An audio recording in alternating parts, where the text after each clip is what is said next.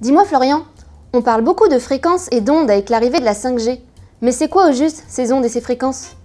Eh bien, nos smartphones utilisent les ondes radio, mais pas n'importe lesquelles.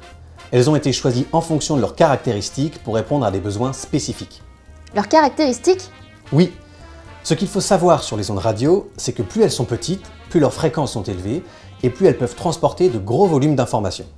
Le téléchargement d'une vidéo HD par exemple.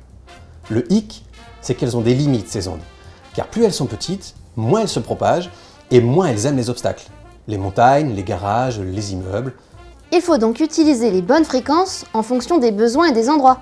Exact.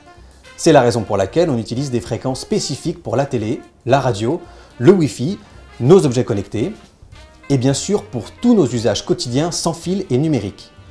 Toutes ces fréquences forment un ensemble, une plage, pour transmettre et diffuser de l'information, communiquer, et aussi pour nous connecter. Elle est de plus en plus utilisée, ta plage, dis donc. Oui, et ça commence à coincer.